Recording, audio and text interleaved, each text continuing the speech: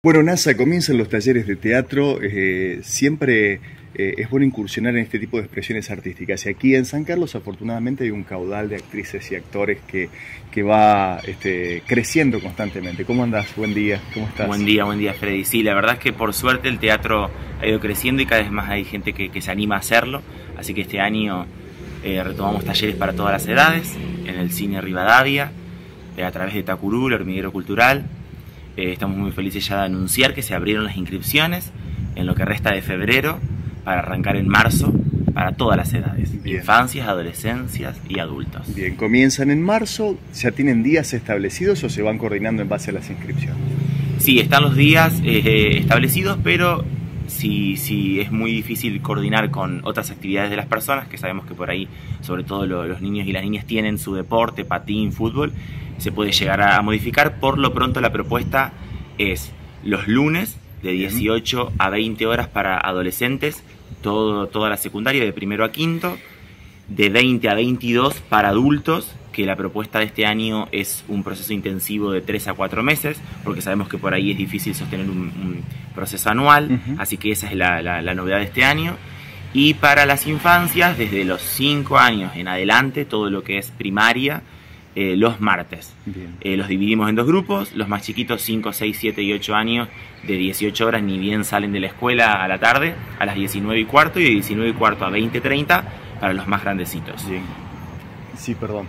No, que lo nuevo y lo, novedoso de, la, de las infancias es que lo combinamos también al teatro con danza y música. Ah, bien. Para ser más integral, más interdisciplinario. Exactamente, es una propuesta integral eh, con la profesora de danza Marina Fusi y la profesora de música Virginia Pintos. Muy bien. Nasa, quienes se acercan a, aprender teatro o a incursionar en este arte, ¿vienen por, por motivación propia? ¿Son los papás que también vienen de, algún tipo de expresión artística y dicen, me parece que va por acá? Este, hay gente que este, no sé, este, es ciertamente retraída y dice, bueno, tal vez aquí encuentro un lugar de expresión. ¿Está todo ese abanico? Es buena la pregunta porque se, se combina un poco de todo. De hecho, hay una persona eh, adulta que me, me, al inscribirse dijo que se lo recomendaban eh, la psicóloga, por ejemplo, para desinhibirse y perder la timidez. Y es válido también.